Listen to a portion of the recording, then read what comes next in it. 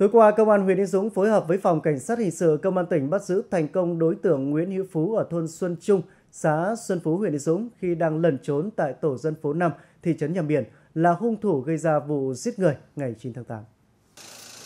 Trước đó, Công an huyện Yên Dũng tiếp nhận tin báo từ quần chúng nhân dân về việc khoảng 1 giờ 15 phút ngày 9 tháng 8 tại thôn Xuân Thượng, xã Xuân Phú, huyện Yên Dũng xảy ra vụ giết người.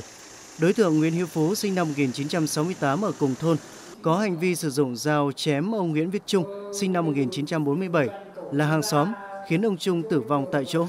Tiếp đó đối tượng Phú tiếp tục dùng dao chém bà Phan Thị Sậu là vợ của ông Trung, khiến bà Sậu bị thương nặng phải đi cấp cứu tại bệnh viện đa khoa tỉnh Bắc Giang.